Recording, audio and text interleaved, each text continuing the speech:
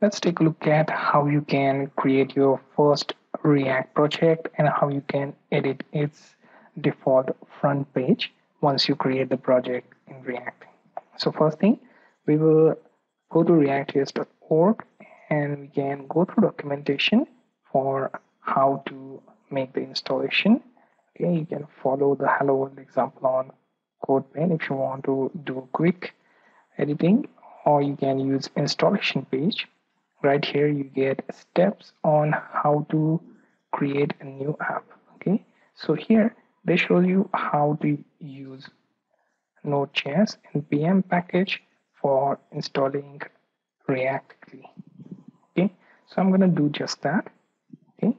I'm going to open this command prompt and here you see npm install dash g create react dash app and after hitting enter it should install that on the system.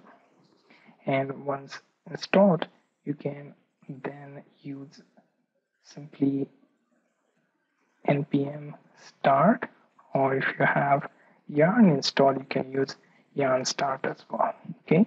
And yarn can be used for installing react as well. So yarn add react and npm install create react app both will install react. Okay? Once you do that after you start your yarn server it should show you something like this. It should show you uh, your project in react on localhost 3000 it should look something like this. Now it says to get started edit source app.js and save to reload okay.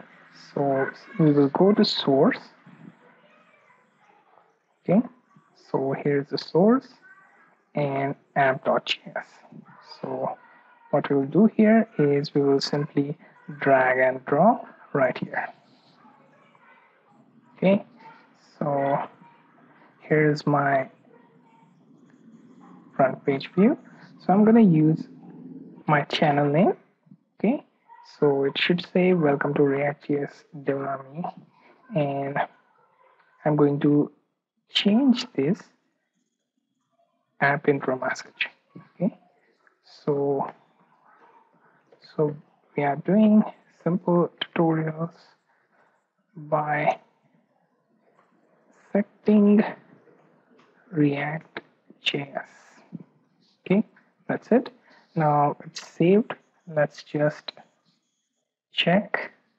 Okay as you can see just after saving the content here it automatically reflected the changes on browser.